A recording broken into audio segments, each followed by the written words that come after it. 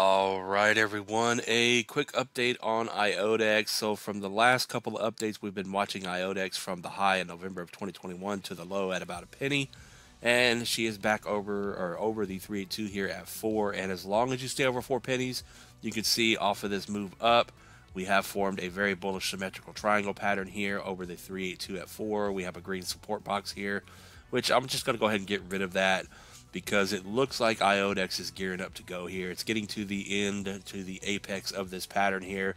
And just like in the past that we've pointed out before, the last time it was in a pattern like this, you can see the measured move off of this pattern out of that triangle pattern almost played out to the T. Went a little bit higher on this one, of course. But ultimately, don't put too much weight onto those measured moves. But it is nice to look at sometimes. Uh, so the one here that I just played around with, you can see that it almost perfectly takes you up to the 618.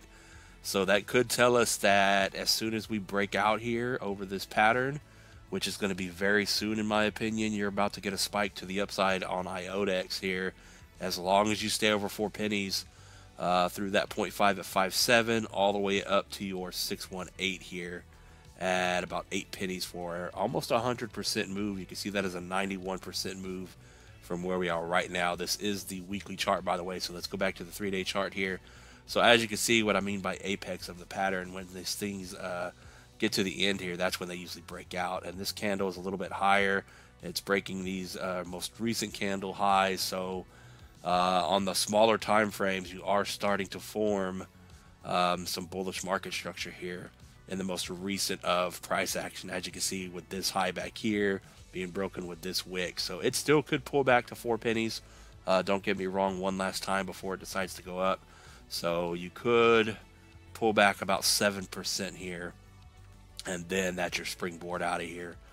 But yeah, it looks good right now. I think IoTeX is about to go uh, make a nice move here.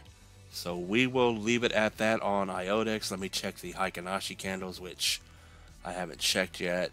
And you can see they are printing green here on the three day, which means the lower time frames we have multiple green candles, so it's starting to trend up here.